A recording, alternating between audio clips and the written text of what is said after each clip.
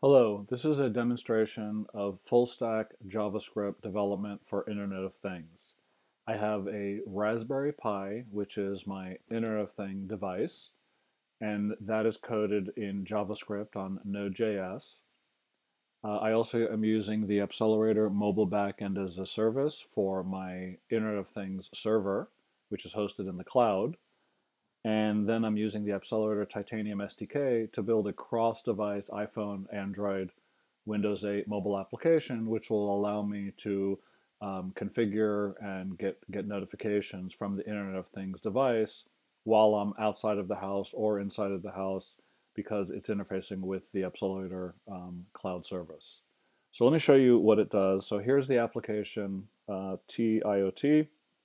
I'll run that. It's a very simple uh, demonstration app, not, not a fancy user interface, user experience, just intended to show the capabilities of this demo. And the first thing I notice is the device is connected. So I have the ability to know when the device is connected because I've configured the Raspberry Pi to, to periodically send a heartbeat to the Appcelerator mBaaS so that connected applications like this iPhone app will be able to know when it's connected and communicating with the mBaaS. And if it doesn't send that heartbeat, it will time out and then I'll know it's disconnected. The next thing I see is a way to turn on something. So I just press the turn on button and that will turn on the LED on the Raspberry Pi. And that really uh, demonstrates the ability to remotely control something in an IoT device. So this could be turning on an alarm system, this could be unlocking a door, uh, this could be raising uh, the temperature on, on, a thermostat. So I have demonstrated the ability through a mobile application uh, to remotely uh, configure the Internet of Things device. Uh, what I'm going to do is I'm going to turn off that LED and then I'm also going to exit the application. So I've exited the application and I'm out and about doing uh, my job and let's say the Internet of Things device, this Raspberry Pi, also has a sensor connected to it which is represented by this switch.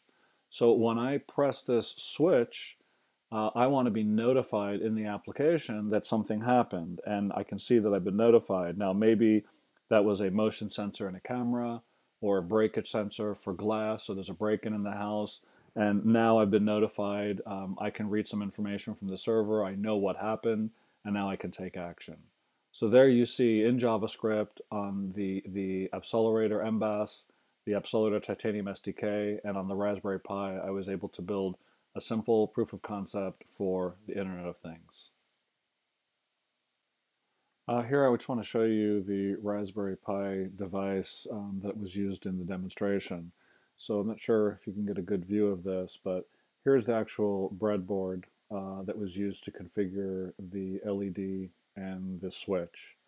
So again, the LED was used to represent something that I'm controlling remotely, and the switch was used uh, as some sort of uh, sensor or input. That's the drop cam, kind of reloading. Um, there is the actual Raspberry Pi device itself, and you can see I have really no connection other than power uh, and and Wi-Fi. No, I guess I should slow down and wait for the video to cap to catch up.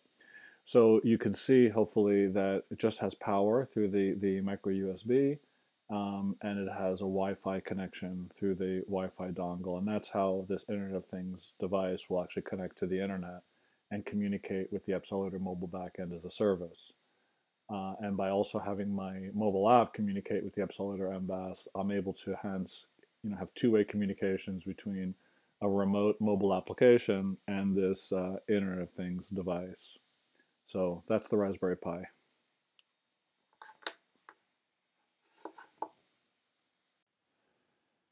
So we're going to briefly look at the code um, in the three different components of the uh, Internet of Things proof of concept demonstration. Uh, namely, we've got the Appcelerator Titanium cross-device mobile application. So we'll look at uh, some of the JavaScript code there built to, to build a cross-device native app. We'll take a look at the Internet of Things server that's implemented in the Appcelerator mobile backend as a service, and that's um, an Express uh, JavaScript application running on Node ACS.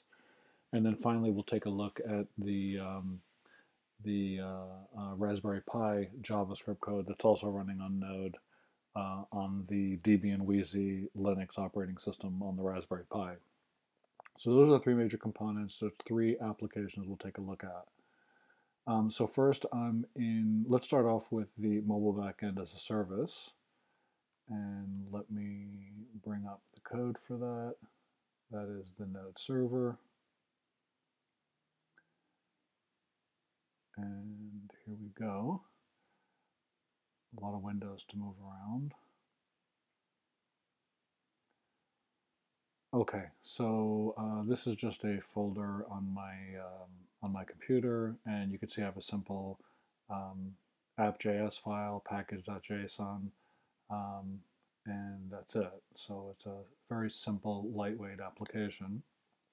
And really what it does, it requires in a couple of modules, namely the Appcelerator mBaaS module, ACS-node.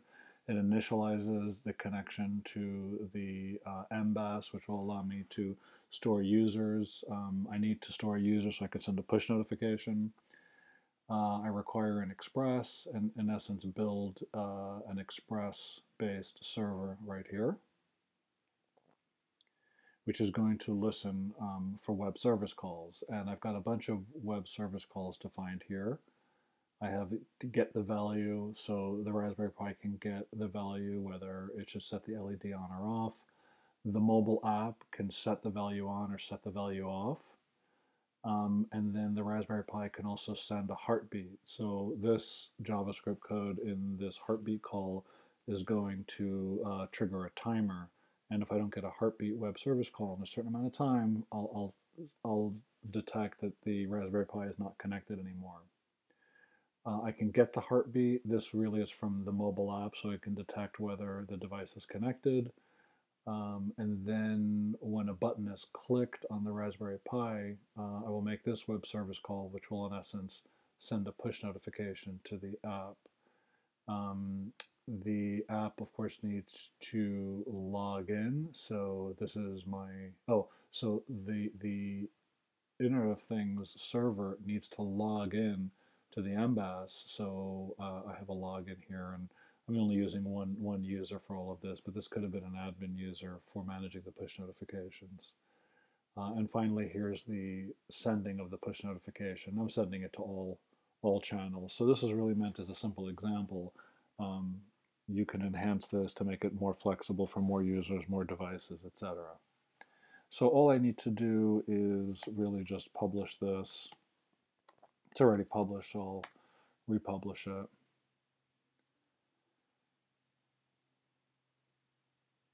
And now there's my um, there's my server running at this URL. Okay. Um, well, one thing I can also do is I can look at the log of that. Let's leave that up and running. So you can see I actually did a successful login here um, from the Internet of Things server to ACS. Now what I'm going to do is I'm going to move over to the mobile application. So let me run the mobile app. And the mobile app um, is, is seeing that the, the um, Raspberry Pi is disconnected, so I can't even turn it on. So this is this button is disabled. Uh, we'll take a look at the code for that, but let me leave this log on so we can see what's happening as we progress through the different components of the system. Okay, uh, so you see basically that the IoT server just exposes a bunch of REST APIs for both the uh, mobile app and the Raspberry Pi and implements the logic of detecting when the Raspberry Pi is, is, is communicating with it um, and also um, uh, receiving calls from the mobile application so what does the mobile app do? Um, it also will will require in some some modules, um, and then it gets the state. So what I'm doing is I'm just making REST API calls here to that to that URL. You can see I'm calling get value. So based on the value, I'll know um, I will know if the uh, if the device is, is connected or not. That's the state uh, get heartbeat, uh, determines whether the device is connected. I can also turn on and I can also turn off uh, the LED. Um, and here's what happens when the application starts. Um, uh, when the application starts, it gets the state of the LED, whether it was connected or not. This will allow multiple devices to control the LED. Uh, and it will also get the heartbeat um, to detect if the if the uh, Raspberry Pi is actually connected.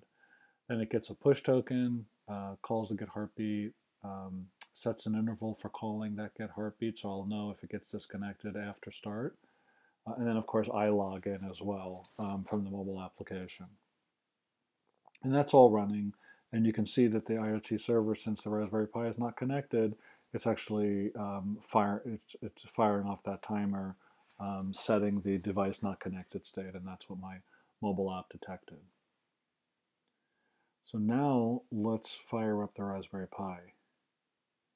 So here I've got a terminal, and I'm already connected to the Raspberry Pi. And I can switch over to my applications. And this is called Node Client. And let me start this.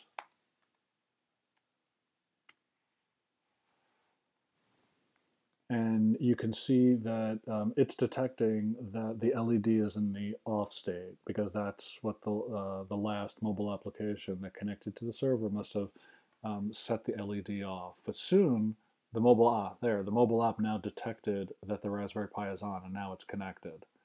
So I can turn on uh, the LED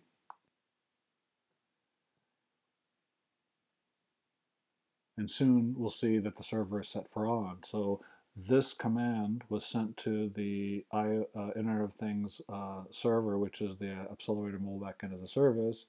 And then when the Raspberry Pi went to check the state, it detected that somebody wanted that LED on. Now I can turn the LED off. So the next time the Raspberry Pi checks, it will see that we want this off. The last thing I'm going to do, you can't see this, is, um, well, first let me exit the app. You can't see this, but I'm going to push the button on the Raspberry Pi, and you'll see the Raspberry Pi detect the button pressed, made a call to the uh, Appcelerator mBaaS, which fired off this push notification. And then I can launch the application. And if we look at the logs on the server, should be able to trace all of that.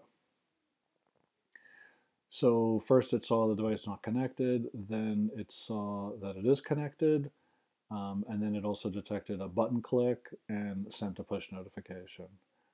So let's go take a look at this Raspberry Pi code. Um, it's pretty simple. So, you know, it's requiring HTTPS. It's also requiring a module called, uh, an NPM called on-off, um, which uh, allows the Raspberry Pi to toggle, uh, set, and read GPIO pins on the Raspberry Pi. And you can see I've got an LED and a button, and I'm going to get the value from the Appcelerator mBaaS, meaning what's the correct setting for the LED, and then I will write that LED. It's also going to call a heartbeat function, and that's going to sit in some sort of timer. Uh, I've got a listener on the button uh, to detect when it's um, pressed. Um, I've also got some timeout here. This is for debouncing of a button because each click of the button actually registers a couple button clicks. Um, and this is the call to the server when the button is clicked, and then the server, of course, will then send a push notification. Uh, here's some cleanup code, and here's the initialization code, setting up some timers for the heartbeat, some timer to read the um, LED value from the server, and then you know calling the initial heartbeat and, and get value. Uh, and that's it. It's pretty simple but very powerful. Um, you know, you have a, a, lot of asynchronous communication because you have three different players in, the, in, in this. You have the mobile application, you have the Appcelerator mBaaS acting as the Internet of Things server, and then you have the Raspberry Pi, which is the Internet of Things device. So hopefully that was useful, and um, stay tuned for more demos.